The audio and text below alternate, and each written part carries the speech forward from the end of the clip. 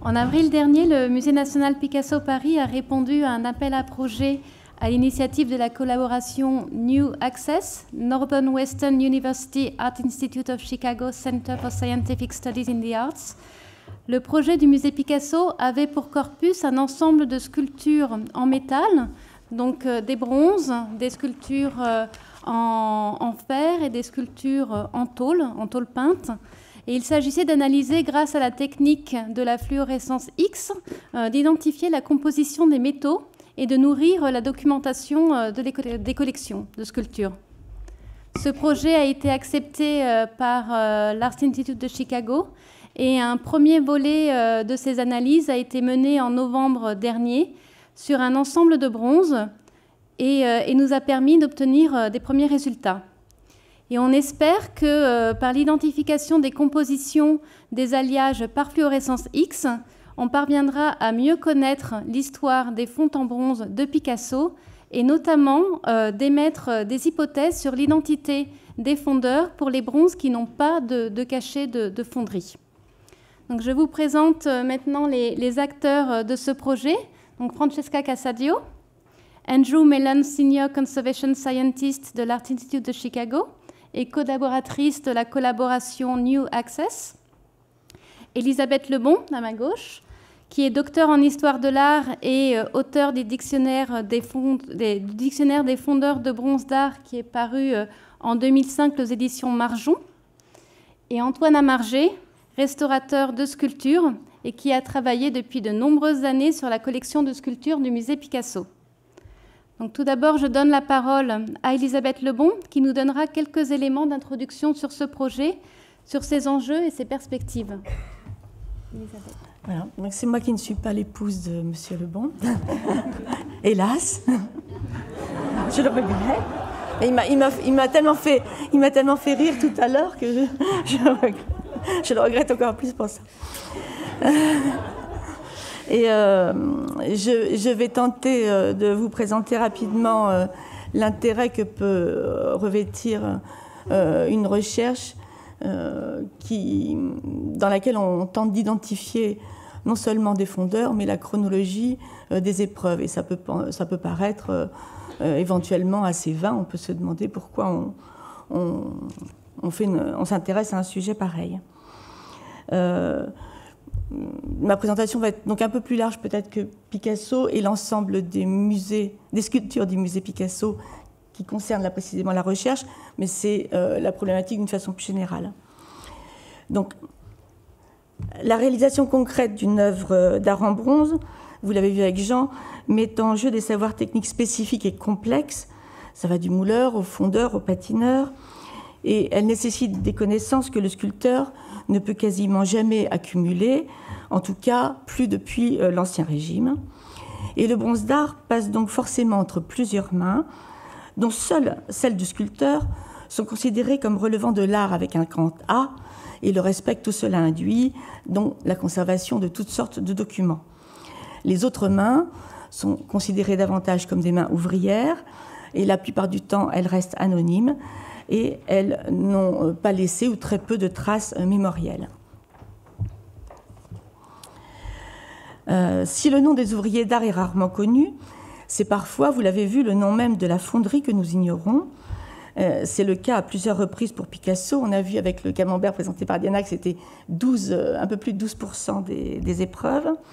Et donc, par exemple, euh, les, métamorphoses qui, ont été modelées en 1928, ou certaines têtes de femmes modelées à Boisjoulou au début des années 30, on ne sait pas qui les a fondues, il n'y a pas de marque, il n'y a pas de, document à ce sujet, sauf si Diana arrive à en mettre à jour.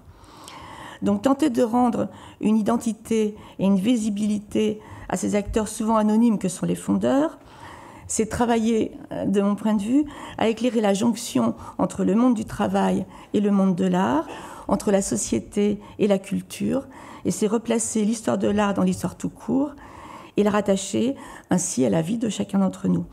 Et tirer sur le fil de l'histoire des procédés du bronze d'art en particulier, permet aussi plus généralement de faire un pas de côté par rapport à l'histoire officielle, et tout à coup, ce pas de côté peut révéler à quel point l'histoire en particulier sociale et politique, influe sur l'histoire de l'art, qu'elle conditionne selon ses propres priorités. Des pans entiers peuvent changer de couleur. Moi, je l'ai plus étudié pour le 19e siècle, mais je pense que ça pourra se faire aussi avec la sculpture du 20e siècle, et des légendes s'effondrer. Ce pas de côté enrichit donc notre conscience historique et politique au sens de la façon dont, nous nous organisons pour vivre ensemble. Mais pour mieux identifier les fondeurs et les fonderies, mais pardon, mieux identifier les fondeurs et les fonderies, c'est aussi affiner la connaissance d'un artiste. Il faut savoir par exemple, euh, on en a parlé déjà rapidement, qu'il existe deux procédés pour fondre un bronze d'art, la fonte au sable et la fonte à cire perdue. Mais euh, ce qu'il faut savoir plus précisément, c'est que pour la fonte au sable, l'intervention du sculpteur se limite à déposer ou faire déposer son plâtre modèle en fonderie. C'est mon schéma tout en haut. Euh, donc vous avez la petite main qui dépose le plâtre. Et puis euh, le fondeur fait tout ce qui est entre deux. Et à la fin, on récupère le bronze. et à ce moment-là, le sculpteur va donner éventuellement un avis sur la couleur, la patine ou trouver que la qualité est déplorable et tout vous faire refaire. Mais enfin, on, oublie ce cas-là. Donc sa présence en fonderie entre ces deux moments, le moment où il dépose le plâtre et le moment où il récupère le bronze brut, euh, sans couleur, euh, est parfaitement inutile. On n'a pas besoin de lui. En revanche, euh, en ce qui concerne la fonte à la cire perdue, le sculpteur donc dépose toujours son modèle une première et ce modèle est d'abord surmoulé. Jean vous l'a montré tout à l'heure pour donner une épreuve en cire. Et Jean vous a expliqué que quand on démoule cette épreuve en cire, tous les gels, les évents sont à, découper. Euh, il y a un démoulage, donc il y a des petites déformations. Il y a donc des réparations à faire qui sont absolument indispensables, euh, ne serait-ce qu'à l'endroit des coutures ou des coupures des jets, des évents. Alors à ce moment-là, le sculpteur est sollicité, ou ses ayants droit s'il n'est plus là, mais c'est plus délicat quand ce sont les, les ayants droit qui peuvent juste avoir un contrôle et pas intervenir. Le sculpteur peut intervenir sur la cire dans la fonderie, parce que la cire de fonderie a beau être une cire d'abeille très dure, on la déplace quand même très difficilement, ça reste très fragile, elle est sensible aux températures, et Jean dira si je dis une erreur, mais je ne pense pas qu'on s'amuse à promener une cire de fonderie comme ça euh, et la faire voyager un peu partout. Donc c'est au sculpteur de venir se déplacer en fonderie. C'est pour ça que sous l'ancien régime, on fondait beaucoup à cire perdue. Les fondeurs allaient en fonderie et connaissaient parfaitement les procédés. Donc quand le sculpteur intervient à cette étape-là, il peut, euh, s'il le veut, euh, non seulement faire des réparations, mais éventuellement donner à cette épreuve particulière dans la série un, caractère euh, unique, la distinguer dans la série. certains sculpteurs, par exemple, mettent juste une empreinte de leur pouce à un certain endroit, etc. Ce qui fait que dans une série qui est identique, on peut avoir en fait une succession d'épreuves qui sont singulières. Et ça, c'est de la volonté de l'artiste. Donc la connaissance du procédé euh, que le sculpteur a souhaité pour obtenir son bronze permet donc pour nous d'ouvrir ou de fermer la possibilité de son intervention après le dépôt du plâtre modèle et la distinction éventuelle des épreuves entre elles. Euh, je fais une toute petite parenthèse, je triste parce que j'ai pas pu parler tout à l'heure pour la question de Monsieur Lebon, mais le, le, sculpteur aussi, euh, qui est un, modeleur, va, quand il modèle son plâtre, euh, avoir l'idée qu'à la fin, ça va être en bronze. Et l'effet lumineux sur le plâtre, qui est un matériau euh, blanc et qui absorbe la lumière, n'est pas du tout le même effet que sur un bronze qui est souvent noir, fond sombre, et qui renvoie la lumière. Donc un modeleur, dans le sens classique, va prévoir son bronze son plâtre pardon, dans l'idée des effets lumineux du bronze. Et en fonderie, il va tenir à venir réparer les cires parce qu'il a vraiment là l'aspect que le bronze va avoir qu'on ne peut pas du tout euh, ou beaucoup plus mal ressentir sur le plâtre. Donc, pardon, le choix du fondeur euh, nous donne aussi des indications sur son désir ou non d'intervenir dans la réalisation d'une série d'épreuves. Euh, oui, je, euh, la cire de fonderie ne se modèle pas comme de la pâte à modeler. Euh, elle est dure, donc on intervient avec des outils euh, chauffés. c'est pas là qu'on laisse par inadvertance des traces qui révéleraient des gestes inconscients. Dans le cas de Picasso, s'il a effectivement parfois distingué les épreuves après la coulée en les peignant, vous connaissez cette série mythique, il semble, alors on est en discussion, euh, il me semble jusqu'à aujourd'hui, jusqu'à preuve du contraire, que Picasso ne soit pas allé en fonderie, en tout cas dans l'idée de réparer les cires, d'intervenir sur les cires. Bon, ça c'est vraiment euh, sous réserve. Hein. Euh, et on a des traces de, fondeurs qui font appel à lui pour venir réparer. Mais là, j'ai appris ce matin, vous, me l'avez appris, que pardon, les fontes de Robecci ou de Guassini, il ne vient pas finalement les réparer. Le, fondeur lui écrit plusieurs fois en disant Venez vite, elle s'abîme, et il ne, vient pas le faire. Euh, donc nous avons trace de, réclamations de fondeurs se plaignant justement qu'ils ne soient pas venus procéder aux réclamations qu'on lui demande. Donc en fonderie, les cires s'abîment, se craquent, sont sensibles à la chaleur. Il, dit, il est peut-être venu, mais en tout cas, on n'a pas une trace évidente qu'il soit, venu. Euh, on ne sait pas comment il répondit à ces appels, ni même s'il y répondit. Et d'une façon plus générale, il y a tellement euh, d'épreuves euh, de fonte à cire perdue euh, dans l'œuvre de Picasso, que s'il était venu systématiquement, comme le font des sculpteurs de tradition classique, réparer ces cires en fonderie en laissant ce soin à personne d'autre, ça aurait de toute façon laissé des traces qui nous seraient beaucoup plus, euh, beaucoup plus évidentes. à partir du moment où il ne vient pas ou peut réparer ces cires en fonderie, une certaine marge est donc laissée aux intermédiaires et aux ouvriers de fonderie qui sont les personnes qui vont intervenir sur les cires. Euh, on sait par exemple, euh, sans que ce soit un ouvrier de fonderie, que c'est Sabartès qui est en relation avec Valzuani, parce que Picasso euh, de Cannes dit Je ne veux pas qu'on découpe mon modèle de la petite fille sautant à la corde. Et pour le fondeur, c'est un, gros casse-tête de, voir mouler ce, modèle d'un seul, seul, tenant. Et il répond, et on voit que c'est Sabartès qui est l'intermédiaire et pas Picasso. Je vais voir ce que je peux faire, mais euh, je vais essayer de ne pas faire de découpe, mais ça ne va, pas être, va pas être évident. Euh, on, a aussi un courrier où euh, c'est Cain Veller qui sert d'intermédiaire et qui dit à Valzuani voilà, Picasso voudrait une plainte de telle épaisseur. Et donc, on sait là que ce n'est pas Picasso qui modèle la plainte, il donne une dimension de la plainte et c'est quand même le, fondeur, le mouleur de fonderie qui va intervenir. Donc, ces interventions ont donc été, si ce n'est toujours, du moins la plupart du temps, confiés aux mouleurs de fonderie, qui sont par conséquent, de façon plus ou moins importante, intervenus sur la forme, ne serait-ce qu'à cause de la difficulté du moulage de certains modèles, faits de briques et de brocs, et qu'il a parfois certainement fallu dissocier pour les mouler. Des hommes comme euh, Julio González ou Carl Nejar sont aussi intervenus pour apporter à Picasso leur maîtrise technique à des réalisations finales impactées par leur intervention, et leur action est reconnue ils sont considérés aujourd'hui non, comme des praticiens, ainsi qu'on les aurait qualifiés autrefois, mais on les nomme artistes collaborateurs. Les hommes de fonderie, qui sont aussi intervenus euh, sur les formes de Picasso, mériteraient donc, si ce n'est d'être nommés, au moins de voir leur intervention appréciée au sens de mesurer comment ils sont intervenus exactement sur les formes?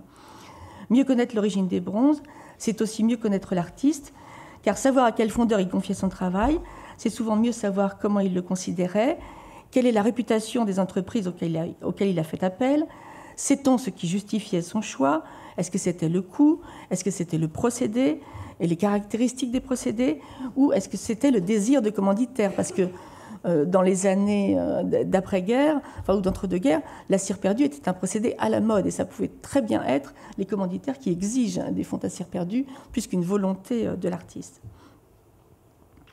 Répondre à ces questions ou essayer de le faire, donc identifier les fonderies, c'est potentiellement éclairer le rapport de l'artiste non seulement à son œuvre, mais aussi à la façon dont il envisage que son œuvre rencontre la société. Mieux connaître les dates de coulée maintenant des épreuves entre elles, en les reliant si possible à l'entreprise qui les a produites, c'est également tenter d'approcher une évolution possible du point de vue de l'artiste sur tous ces sujets. La valeur personnelle et commerciale qu'il accorde à son travail ou l'importance qu'il accorde à son geste. Plusieurs bronzes de Picasso sont décrits par exemple par Werner Spies comme ayant fait l'objet de deux tirages, l'un numéroté 2 sur 2 et l'autre pas numéroté du tout par exemple, euh, tous les petits euh, modèles de très petite taille du début des années 50. Il faudrait vérifier, et euh, Diana, j'imagine, l'a fait ou va le faire, mais l'épreuve non numérotée devrait en toute logique être la première, commandée probablement par Picasso pour lui-même, tandis que l'épreuve numérotée, elle, est forcément destinée au marché, c'est ce qui justifie la numérotation à l'époque où la loi n'existait pas, et elle n'arrive sans doute que dans un second temps. Donc savoir si Picasso, mais n'importe quel artiste en général, a fait appel à la même fonderie ou pas pour une épreuve qu'il entend conserver et pour celle destinée au marché, c'est comprendre déjà s'il existe une variation du positionnement de l'artiste selon l'une ou l'autre situation, ou si son positionnement a évolué dans le temps, et alors il faudrait s'interroger euh, sur les raisons. Mais encore, savoir si la, numérotation a été appliquée, comme c'est certainement le cas, pour assurer à l'époque la valeur commerciale de cette épreuve numérotée, eh bien l'épreuve qui ne l'est pas, si c'est bien celle que l'artiste a fait réaliser dans un premier temps pour lui-même, pourrait paradoxalement prendre aujourd'hui à ce titre, à nos yeux, une valeur supérieure. Mieux connaître l'identité des bronzes, leur chronologie, leurs réalisateurs, c'est donc aussi modifier éventuellement leur valeur marchande. Et plus généralement, cet angle amène donc à s'interroger sur le prix que l'on accorde, à quoi et dans quel contexte. Donc mes propres travaux sont généralement assis sur ces questions et ma participation à ce projet vise à mettre en commun nos compétences pour mieux identifier l'identité, les, fondeurs et si possible la chronologie des coulées à partir d'un nombre important de sculptures de Picasso et qui s'appuient sur d'autres analyses qui ont été faites par euh, l'Art Institute sur des ensembles encore plus, vastes. Donc j'amène la connaissance archivistique et historique des entreprises de fonderie qui est croisée avec le regard d'Antoine euh, qui est celui du restaurateur technique la connaissance des conservations, euh, des, collections que nous amène euh, Virginie, et enfin la connaissance des alliages euh, qu'on aura grâce au travail de l'équipe technique de Francesca. Mais ce qui est intéressant, c'est qu'aucun d'entre nous ne détient de vérité absolue. Les connaissances historiques sont parfois soumises, on l'a vu tout à l'heure, à la, à la distorsion des souvenirs collectés, des mémoires, et souvent très lacunaires. Euh, la connaissance des, collections elles-mêmes est souvent lacunaire, le regard technicien a ses limites objectives et les données d'analyse peuvent souvent être trompeuses. Et c'est le croisement de ces approches qui devrait euh, le mieux éclairer euh, toutes ces questions. Merci.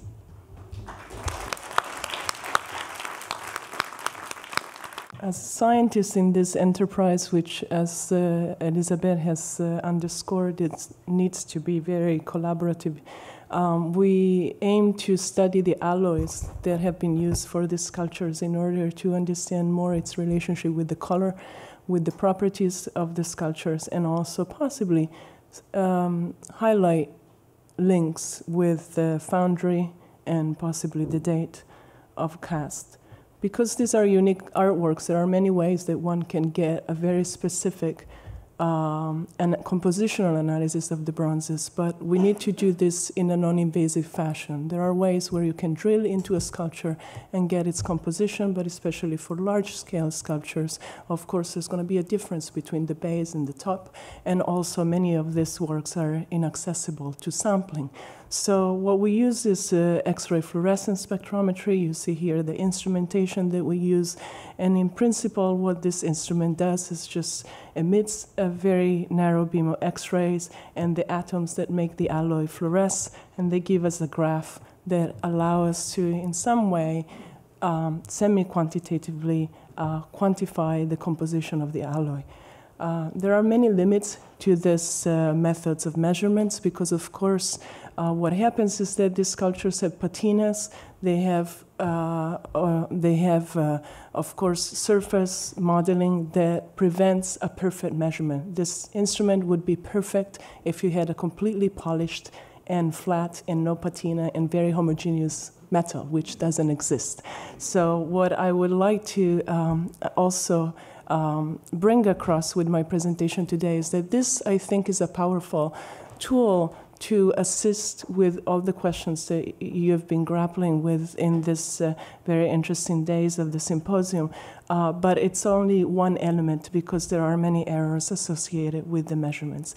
Nonetheless, uh, when it's possible to have access to such uh, incredible body of work like uh, that contained in the collection of the Musée Picasso, uh, we can, I think, add something to the knowledge.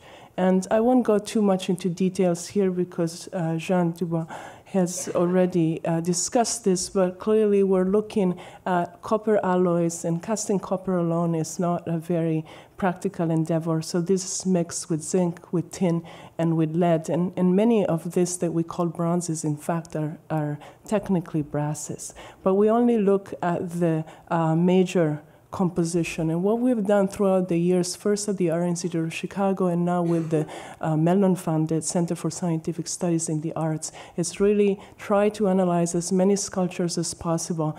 Uh, and we have looked now at about 300, of which 140 are, have foundry marks. Uh, and I want to underscore that this is done with the same instrument and using very um, precise standards because comparing also measurements that are done at different institutions with different instruments also has some problems. And the other thing that I want to underscore is that a good part of uh, our measurements come from late rodents of the Cantor Art Museum in uh, Stanford. And we compare this, of course, with this scholarship that is represented uh, here by Elizabeth Le Bon, and we try to add a little bit of this material signature to our knowledge of these foundries. So, as a result of this larger study, uh, what you see here is a graph that basically charts the percentage of zinc in these various alloys. And the only thing that I want you to sort of take away is that there are some foundries like Alexis Roudier and to some extent Georges Roudier, where the composition is very, very um, controlled. And these are all the 1970s sort of late casts. And others where basically the dimension of this box is just a statistical uh, instrument to show you the dispersion of the measurements. Um, so, in a sense, if we look at all the bronzes that we've analyzed, and here in different colors, you see uh, the different percentages of zinc and tin we can search of start to create a search of a, a, distribution of the various alloys that are used by the different foundries. And you can see that there is some variability, but in some cases, again, if we look at Roudier, there's a very uh, compact cluster. So, what does have this to do with the study of the Picassos? Um, so far, we've only looked in November at about 25 sculptures, of which 14 have foundry marks. And you see the same graph plotting the zinc content. And um, I was uh, uh, expressing to Jean before that the Coubertin is certainly a very, very controlled uh, composition, while others vary more.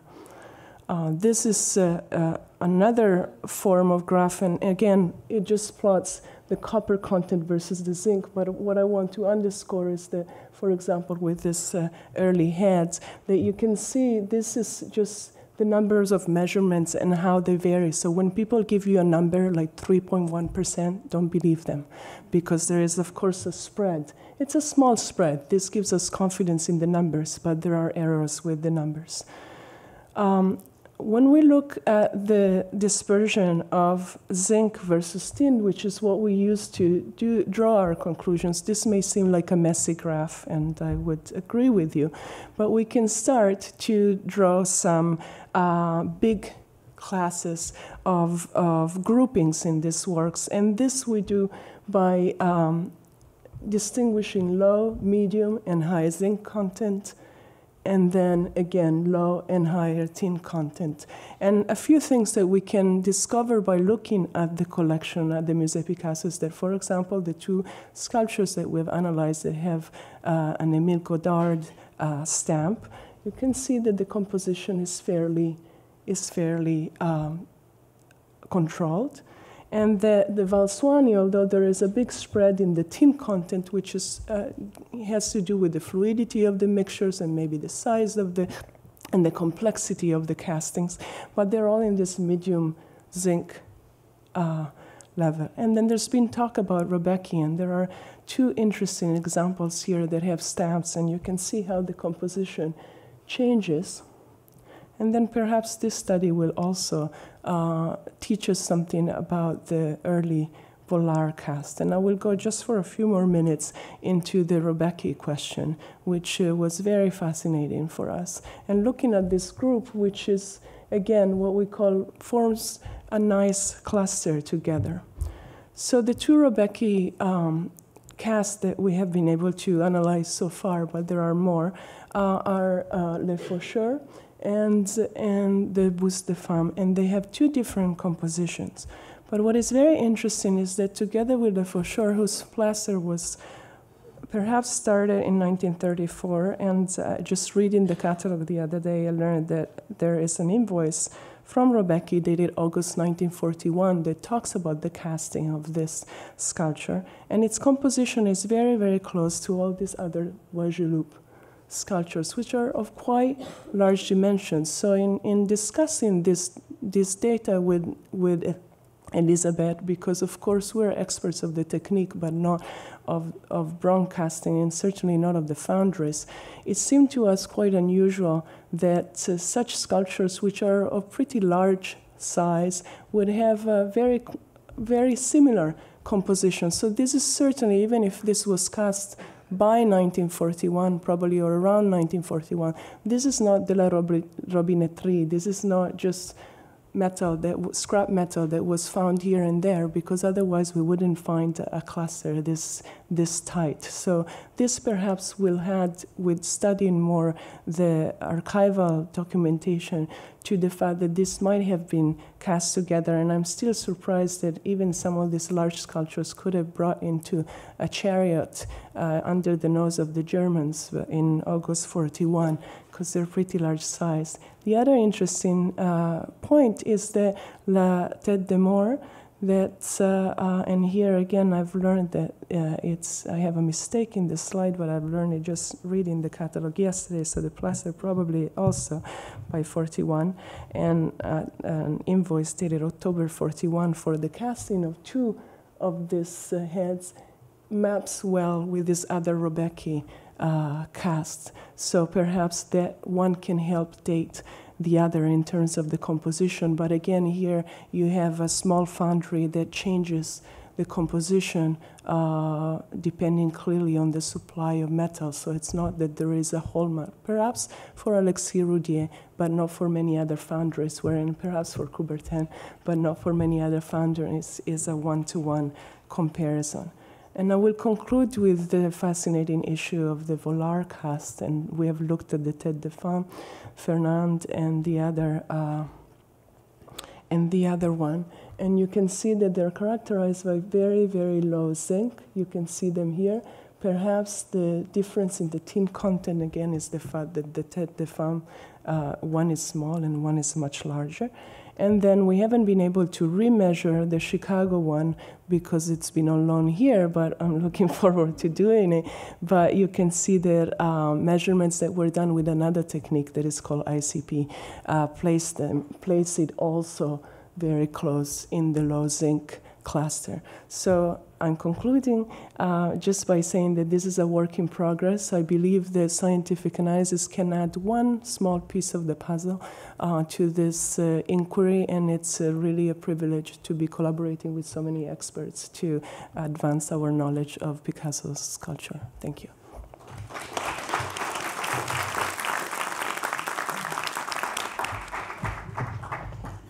Merci beaucoup, Francesca. Effectivement, les, premiers résultats sont, euh, prometteurs et, euh, euh, nous permettront, j'espère, de, réaliser ces familles de fondeurs qui, permettront aussi, comme le disait Elisabeth, d'essayer de tenter une histoire des fontes de Picasso. Je cède la parole maintenant à, Antoine Amargé qui va nous donner euh, quelques explications sur euh, les processus de fonte et notamment euh, sur la question des, patines. Car comme le disait Derek Pullen, on, apprend beaucoup par l'imagerie scientifique, mais on apprend aussi beaucoup en regardant très précisément et très attentivement les œuvres. Bon, alors quelques rappels techniques. technique de fonte au sable, fonte à cire perdue et puis patine. On commence par une fonderie de cloche, ici la fonderie Blondeau à La Chaux-de-Fonds, avec le procédé de fonte au sable avec du sable de Fontainebleau. En fait, la fonderie euh, a acheté à la fermeture des carrières de sable de Fontainebleau, enfin de Fontenay-aux-Roses pour être plus précis. La fonderie a acheté quelques wagons, de quoi tenir 30 ou 40 ans, parce qu'elle préfère utiliser un sable naturel qui est plus simple à utiliser et à recycler aussi, enfin qui pose surtout pas de problème de recyclage. Donc là, on a du sable cuit euh, dans, le, dans le moule à gauche, le sable qui est devenu noir parce qu'il a subi le choc thermique du bronze, et puis du sable neuf à gauche, du sable neuf de Fontainebleau. Et il y a toujours un mélange des deux au fur et à mesure pour redonner de la plasticité au mélange. Donc au niveau des métaux d'apport, on commence par les matériaux. On a traditionnellement beaucoup de recyclage, dans des, rebuts d'usinage, et puis aussi quelques éléments d'apport qui sont sous forme de lingots. Comme il s'agit de cloches, il y a un apport en étain puissant pour avoir la sonorité particulière du bronze. Ensuite, on coule le métal et on le verse dans des moules, ici des cylindres remplis de sable. Ensuite, on décoche le moule. Donc c'est la version la plus simple avec un volume assez simple au départ. Et on ressort la petite clochette qui a été faite à partir d'un positif euh, standard et de petits euh, estampages imprimés directement dans le moule avec euh, des estampages en fonction de la demande du client. Un petit peu de finition et on obtient le produit fini. Ça, c'est la fonte au sable la plus basique avec le matériau traditionnel. Fonte à cire perdue, donc là on a l'autoportrait de Cariès sur sa tombe au Père Lachaise autoportrait de Cariès coulé au sable, enfin pas au sable justement, à cire perdue par euh, Bingen, donc c'est écrit au revers, avec la petite inscription typique de la cire perdue, c'est-à-dire qu'on a un petit bourrelet autour de l'inscription parce qu'elle a été faite au stade de la cire. Et en fait, euh, cette opération a été réalisée dans le cadre d'un cours de travaux pratiques que j'ai donné pour les élèves restaurateurs de l'Institut national du patrimoine. Et en fait, on, devait restaurer cette euh, sépulture et puis étudier la faisabilité de la réfection d'un élément disparu qu'on voit sur la photo à gauche et dont on voit des traces sur la photo de droite. En fait, le petit personnage que Cariès tient dans sa main avait été volé anciennement. Donc on avait fait une petite étude de faisabilité de la réfection. Et puis en fait, euh, en forçant un peu, ça tenait dans le temps imparti. Du coup, on a fabriqué le, on a fait la, on a mis en œuvre la réfection. Donc le modèle original est conservé au musée du Petit Palais, il est en cire, il n'est pas exploitable parce qu'il est trop fragile et trop endommagé. On a trouvé un autre modèle dans un petit musée à Saint-Amand en puisé, là où travaillait Cariès. Donc on a moulé ce modèle qui avait l'avantage d'être exploitable d'un point de vue technique. Ensuite, on a travaillé avec la fonderie. Comme on l'a vu déjà plusieurs fois, à plusieurs reprises, fabrication d'un modèle en cire qu'on modifie légèrement pour le rendre plus solide ensuite coulé en bronze donc dans la fonderie Sus. Le modèle au moment du décochage, c'est-à-dire quand on enlève les fragments du moule en plâtre et qu'on met à jour le bronze avec ses alimentations. Et puis une finition que dans ce cas-là, on avait choisi imitation ancien pour pouvoir l'intégrer sur le monument. Donc là, c'est toujours avec des élèves restaurateurs de l'Institut national du patrimoine. On fait une patine artificielle à l'imitation de la corrosion naturelle, de manière à pouvoir le replacer sur le monument et redonner une espèce euh, d'intégrité euh, symbolique au monument. Cariès précédemment avait l'air de faire l'aumône un petit peu en tendant la main parce qu'il avait perdu le petit personnage. Avec le personnage, on retrouve une iconographie compréhensible en utilisant une technique assez proche de la technique d'origine. Donc la petite pièce est datée, elle est insérée de façon réversible mais solide sur l'original. Et dans le cadre d'un projet didactique, c'était parfait. Le moindre des soucis n'était pas non plus de, faire toute la procédure nécessaire, c'est-à-dire de retracer avec les élèves les différentes institutions, les différentes personnes auxquelles il faut s'adresser pour obtenir les autorisations et avoir le processus normal dans ce cas de figure. Ici, donc, euh, un portrait de François Rude par euh, le sculpteur Henri Bouchard, euh, fondu au sable. Le volume est assez simple, donc en général, schématiquement, on peut dire que les volumes simples, on peut les, les couler facilement au sable. Donc là, un modèle avec ses alimentations et un modèle fini. Et puis, si on regarde dessous, on a l'aspect typique d'une fonte au sable, c'est-à-dire le métal est assez propre et on a des volumes assez synthétisés parce qu'ils ont été souvent dégraissés à l'outil. Donc, euh, à contrario, on a des modèles plus compliqués. Apollon et le vent salir, petit modèle, toujours par Henri Bouchard, cette fois-ci coulé à cire perdue. Et en fait, à l'intérieur, on a d'une part le modelé des gouttes de cire qui est reproduit par le bronze, des fragments du moule plutôt en plâtre plus adhérents sur la surface, donc un aspect assez sale, et puis à l'extérieur, on a le petit cachet du fondeur qui est euh, bien caractéristique. Donc, euh, suivant en principe la complexité du modèle, on est plus amené à utiliser telle ou telle technique. À ceci près qu'il faut quand même apporter un bémol, c'est-à-dire que là, on a un aigle massacrant un pélican par Barry, fin 19e. Le modèle est très complexe au niveau du volume, mais il a toutefois été coulé au sable en plusieurs éléments. Donc, ce n'est pas parce qu'on a un volume compliqué qu'on est forcément à cire perdu. Ça peut être coulé en plusieurs éléments au sable ou coulé en un seul élément au sable par un mouleur particulièrement performant qui sait bien placer les, différentes pièces du moule. Donc on a toujours l'aspect au revers assez typique des fontes au sable, c'est-à-dire le métal propre et les surfaces assez géométrisées à l'intérieur.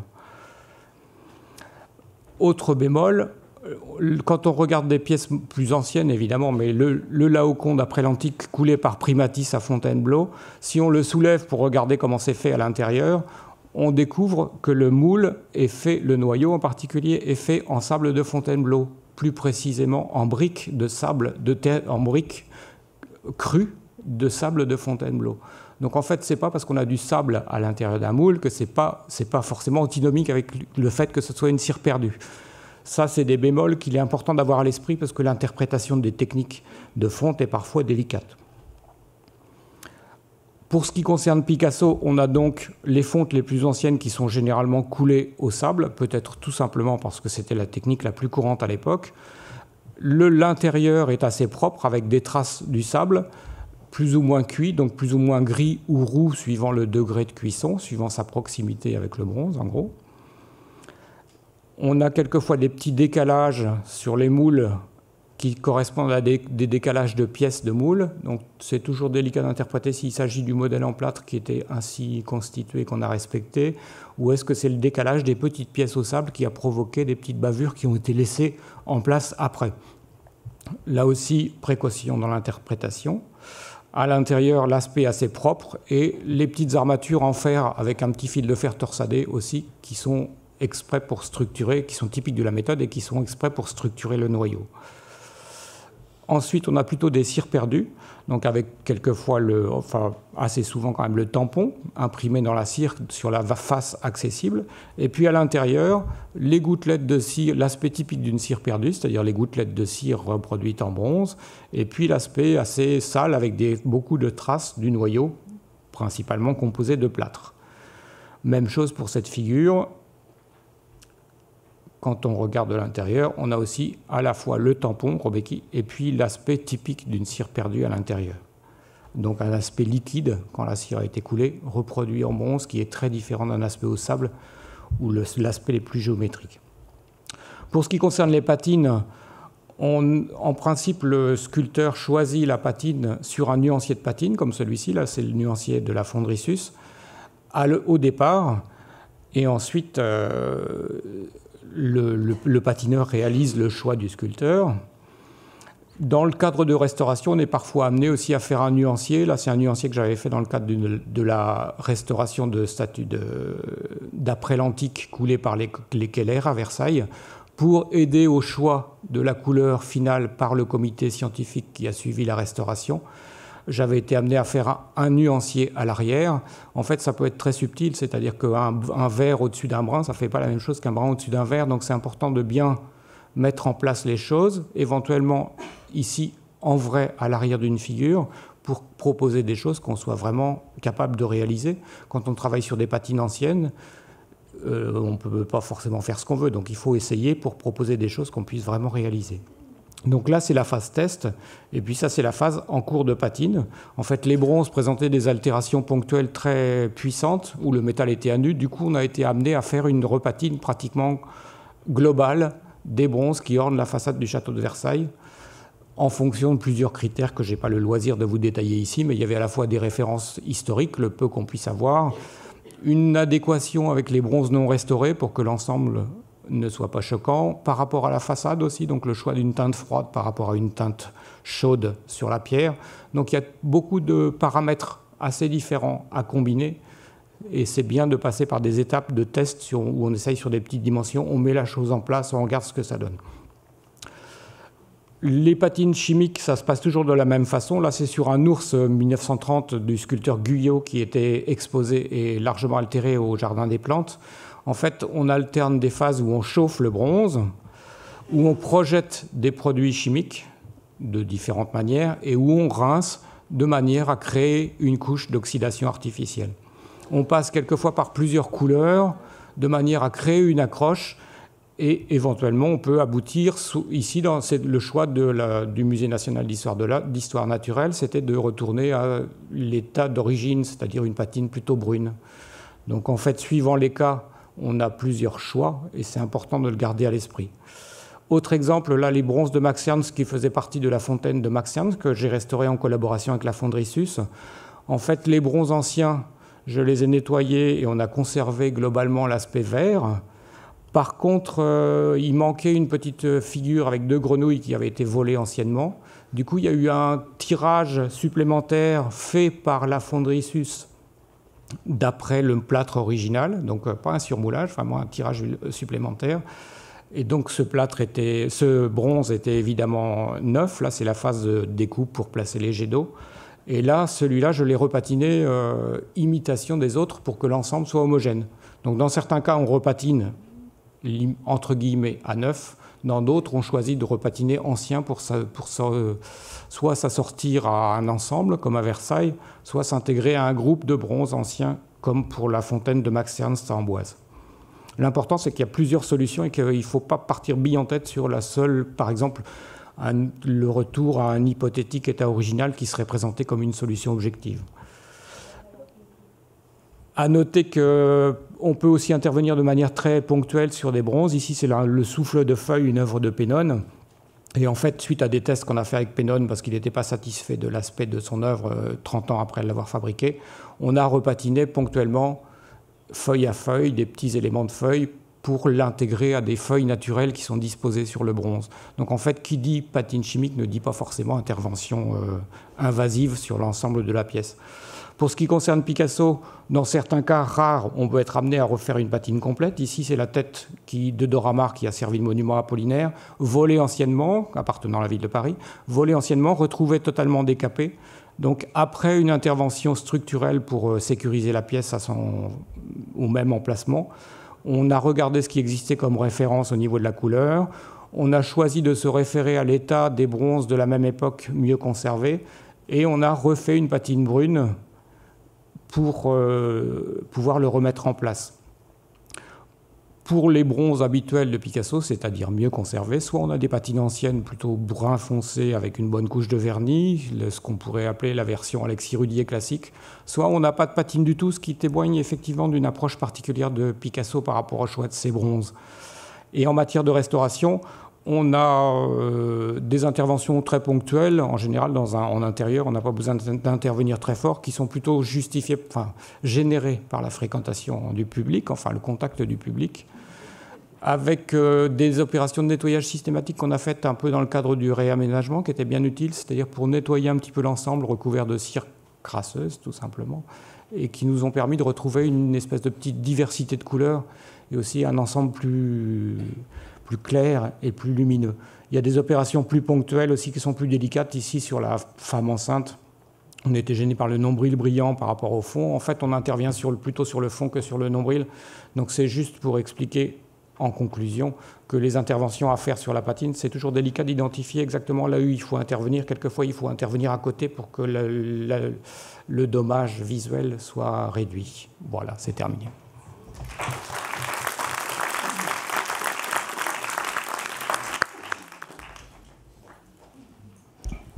Merci beaucoup Antoine euh, pour ces rappels euh, techniques sur euh, la fabrication des, bronzes de Picasso. en voyant ces images, on a la confirmation qu'on apprend beaucoup aussi de, l'intérieur des, sculptures. Et je me demandais, on, a énormément appris de, l'identification des, alliages. On, on, a vu avec Francesca que qu'effectivement, euh, il existait des, des recettes de, de fonderie. Et, euh, et je voulais vous poser la question de est-ce est-ce qu'on n'aurait pas intérêt aussi à analyser les noyaux de fonte pour euh, retrouver euh, ces, euh, ces recettes euh, des fonderies dans la composition des, des noyaux?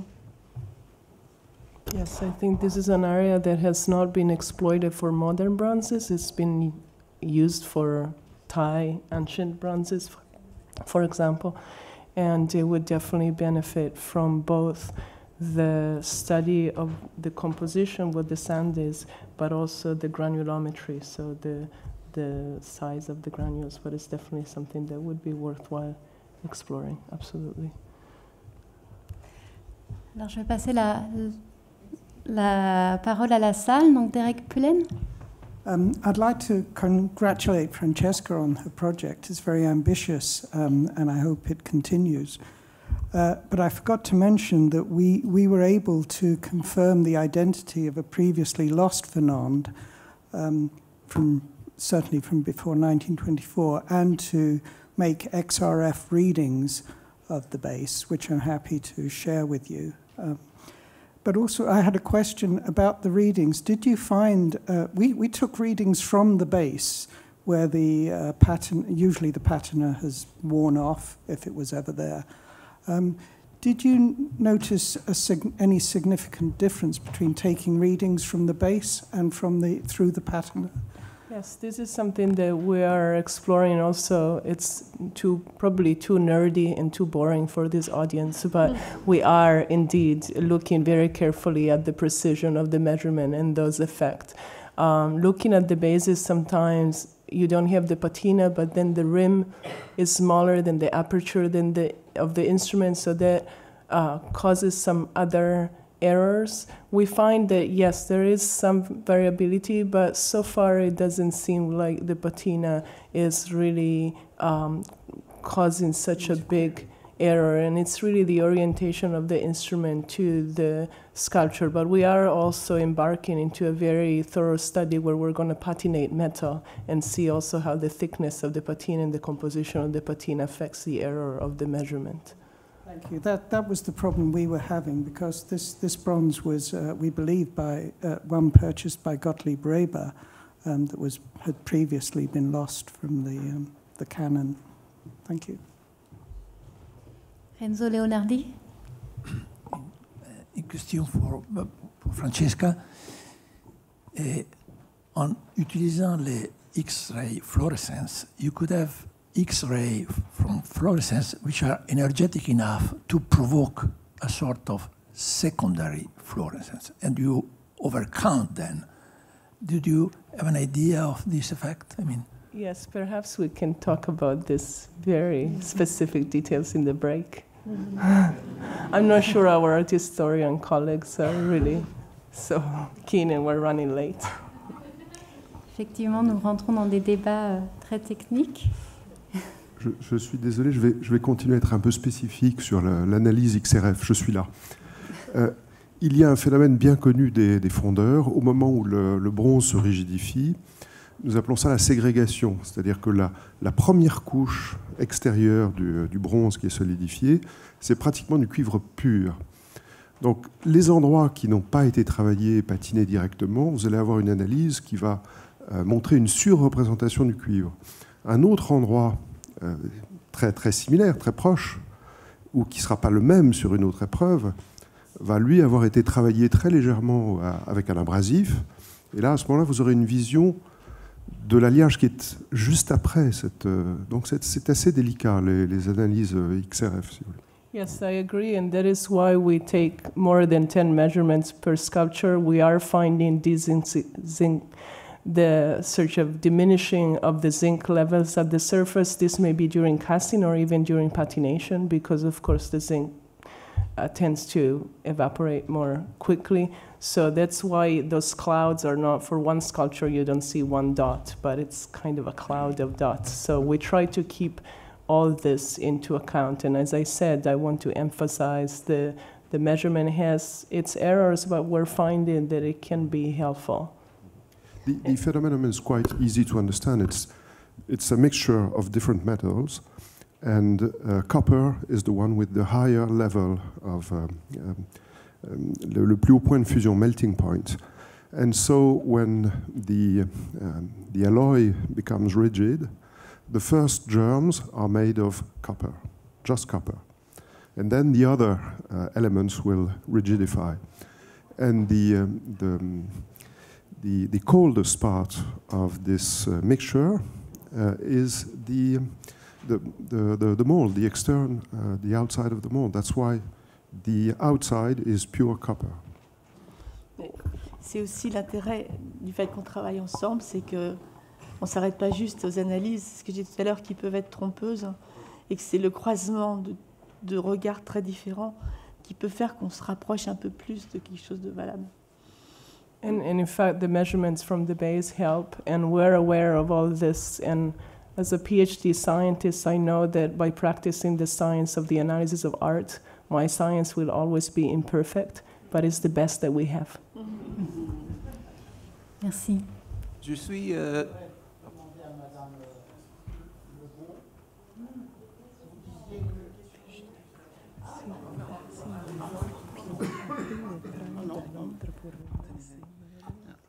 Je voudrais demander à, à, Madame Lebon, vous, vous avez cité la cire comme un, comme un matériau fragile tout à l'heure. Or, euh, à travers les siècles, il y a des sculptures en cire qui nous sont parvenues.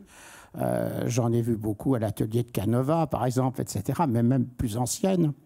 Et au XXe siècle, la cire est devenue un matériau en version définitive de la sculpture. Euh, Medardo Rosso, par exemple, l'a inauguré. Mais d'autres artistes du XXe siècle l'ont travaillé. Moi-même, j'ai des sculptures qui ont plus de 15 ans, qui sont en cire et qui se maintiennent très bien. Ma question est, y a-t-il différentes qualités de résistance de cire? Euh, Ça marche? C'est plus une question pour Jean que, pour moi. Mais moi, j'ai juste vu à travers des échanges entre fondeurs et sculpteurs, d'un point de vue archive, que les fondeurs alertent les sculpteurs. Je pense à Gonon, par exemple, au 19e, et en leur disant attention, les cires se rétractent. Euh, on voit l'état des cires de Degas, par exemple aussi. Les cires en vieillissant se rétractent, se fissurent. Euh, en fonderie, en plus, si la fonderie est petite, les fours sont pas très loin, la chaleur des fours les détériore. Et euh, tout ça fait que le fondeur, euh, Jean pourra euh, compléter, cherche à ce que les cires soient quand même assez rapidement retouchées, en tout cas pour ce que j'en sais jusqu'au début du XXe siècle. Hein. Jean, je ne sais pas. Mais je crois que la, recette, sinon, il y a peu de variations. Hein. C'est de la cire quasiment pure d'abeille, ça. Hein. Chaque fondeur a une recette. Bon, en fait, on ne peut pas parler de la cire de façon générique. Il y a différents types de cire, différents points de fusion. On peut rajouter des produits, cire végétale, cire animale, cire microcristalline. Sous l'appellation cire, elle est très vague parce qu'on a toutes sortes de produits sous le registre cire. Les points de fusion sont très différents. Donc, on peut avoir des cires très dures, très difficiles éventuellement à modeler mais qui se conservent mieux. Et puis, se conserver bien ou moins tout, ou mal, tout dépend des conditions de conservation. Donc, on a des plâtres égyptiens qui sont nickel parce qu'ils ont été préservés de toute atteinte, alors qu'un plâtre, c'est quand même relativement fragile par rapport au choc. Mais bon. Il y a des additifs dans les cires à modeler qu'on ne met pas forcément à la cire de fonderie. Alors, en ce qui concerne les, les cires, euh, chaque fonderie a à peu près sa composition de cire. Euh, je sais que nous, on faisait des cires d'hiver et des cires d'été. Hein Donc euh, on, augmente un tout petit peu plus la colophane si on rajoute. La cire d'abeille est très peu utilisée maintenant dans les fonderies, c'est assez rare, sauf parce qu'elle elle dégage une bonne odeur quand on dessire, donc c'est intéressant. Mais autrement, c'est des cires euh, souvent à, base de pétrole à l'heure actuelle. On, on, utilise de la montante, de la colophane, de la paraffine et de la cire blanche, ce qu'on appelle. Et donc on fait une composition euh, avec un pourcentage qui permet d'avoir euh, une bonne coulabilité, une bonne empreinte euh, et qui résiste à, la température. Mais en général, pour les cires, souvent qui sont faites au renversé pour la plupart, le noyau est coulé aussitôt que la cire est faite, de façon à ce que au moins la cire ne se déforme pas. Donc elle va peut-être rétrécir un peu sur son noyau, mais elle peut se conserver très longtemps.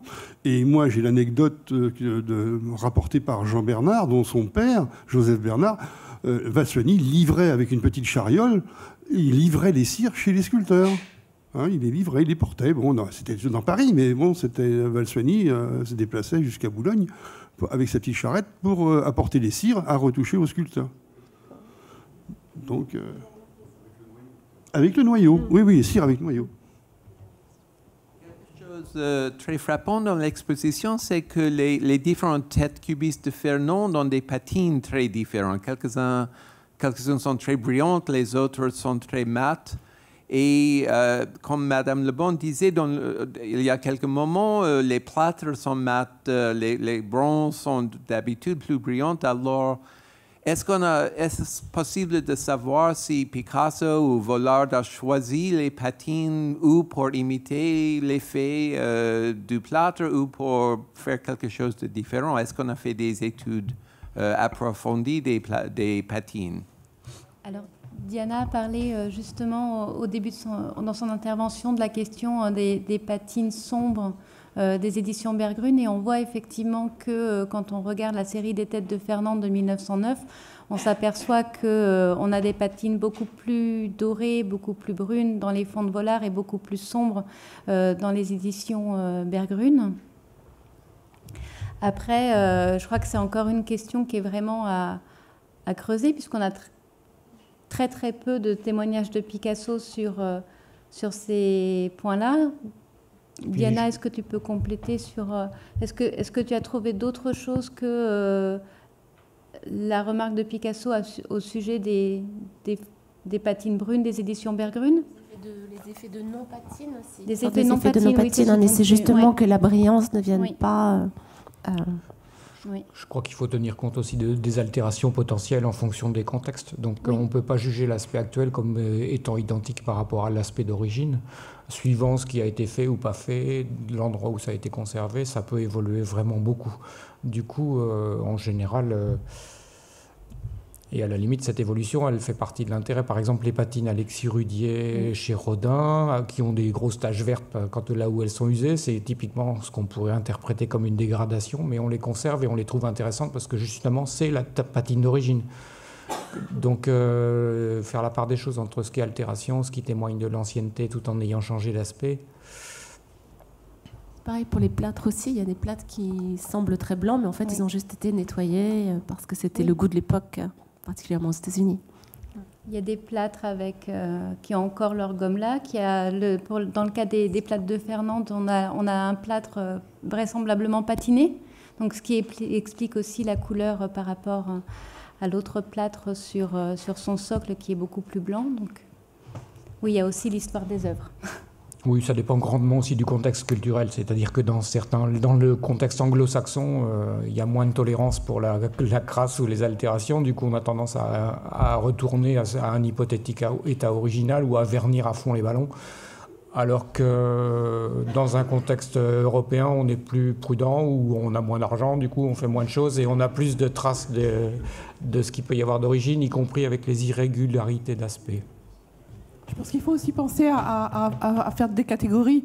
Euh, si vous voulez vraiment savoir euh, la vie de Picasso par rapport à ses euh, patines, il faut regarder ce qu'il avait gardé dans son atelier.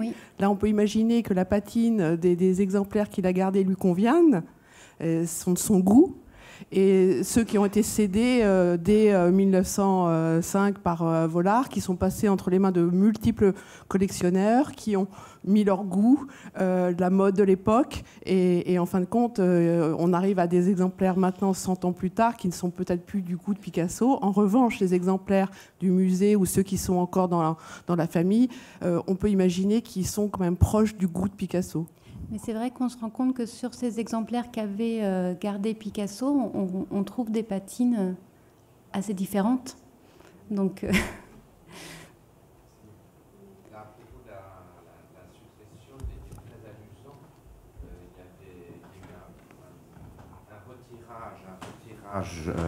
pas un retirage, une continuité de tirage de la Terre de Fernand de 1906, les patines étaient lapis lazuli. Mm. Avec un, avec un autoportrait de, de, Daumier, et je sais pas, quelqu'un avait fait un arrangement avec Picasso, mais c'était bleu lapis lazuli. ce que vous ne les avez jamais vus, vous ne les verrez jamais, parce que c'était, je pense, le goût d'une époque, et ça a été revisité. Donc ça ne veut pas dire, c'était chez Picasso, mais c'était une patine, euh, je dirais 70. Oui, tout à fait. Une, une patine 70, le goût de l'époque. Enfin, le- c'était drôle de voir Picasso et Daumier avec la même patine. Voilà. Euh, et ça nous a fait faire une petite faute. Parce qu'on croyait que c'était moderne. Et on, on a, moi, je sais que j'ai fait d'abord une fiche en disant tête de Jacqueline. Parce que, euh, parce que Jacqueline ressemble à Fernande. Et que comme c'était une fonte de patine complètement contemporaine, euh, voilà, il y a eu une erreur qui a été faite. Mais elle- ces patines ont disparu. Oui, bien sûr, je, souscris à ce qu'a dit François. Il y avait un autre bronze euh, dont tu te souviens peut-être aussi, qui était d'un vert cru, assez aussi. Pour nous, on était nous-mêmes étonnés de, de ces patines euh, trop bleues ou trop vertes. C'était pas du tout ce que vous avez dans, dans l'exposition. Hein Une dernière question de, de Renzo? Dans les quatre bronzes qui sont exposés dans l'exhibition, Oui. pour les courriers, il y en a un euh, qui a été répatiné en 56 et c'est celui de MoMA. Donc on peut en quelque sorte même voir la différence. MoMA. Merci. Donc merci, euh, merci à tous.